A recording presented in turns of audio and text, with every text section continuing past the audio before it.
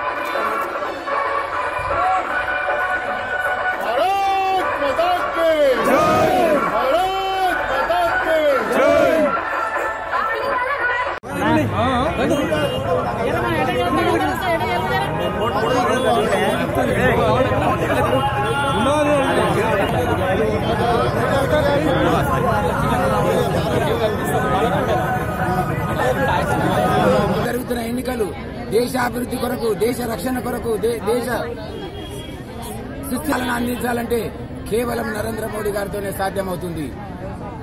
కేటీఆర్ గారు చెప్పినట్టు ఆ గట్టు ఈ గట్టు అని చెప్తా ఉంటాడు. విన్నారా ఎప్పుడన్నా? విన్నాం.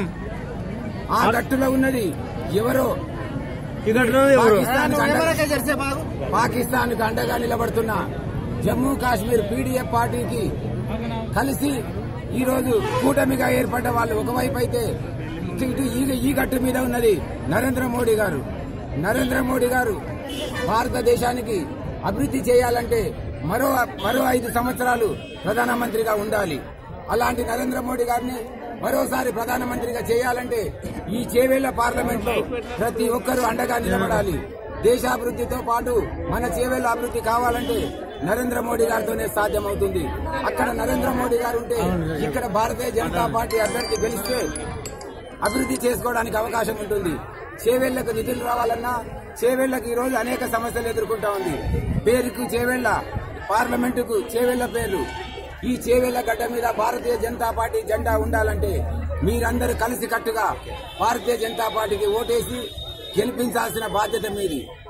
ఈ రోజు కాంగ్రెస్ చూసాము టీఆర్ఎస్ చూసాము టీఆర్ఎస్లో నాలుగున్నర సంవత్సరాలు ప్రభుత్వం ఉంచుకొని ప్రభుత్వంలో ఉన్న నాయకుడు ఈ రోజు కాలు కారు గుర్తును వదిలేసి చెయ్యిని పట్టుకున్నాడు.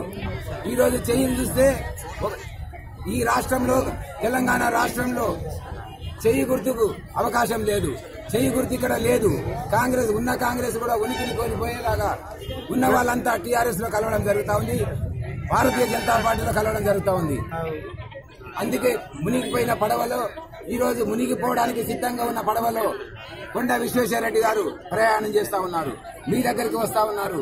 చేతి గుర్తుకు ఓటేస్తే ఏదో చేస్తానంటున్నాడు. చేతి గుర్తుకు ఓటేస్తే ఏమీ చేయలేడు. అదేవిధంగా టీఆర్ఎస్కు ఓటేస్తే టీఆర్ఎస్ పరిస్థితి పదహారు సీట్లు గెలిచినా ప్రధానమంత్రి కాలేడు. అలాంటి దానికి ఈ చేవెళ్ళ చేసుకుంటారు? చేవెళ్ళలో తప్పనిసరిగా భారతీయ జనతా పార్టీ గెలవాలి. భారతీయ జనతా పార్టీ గెలిస్తేనే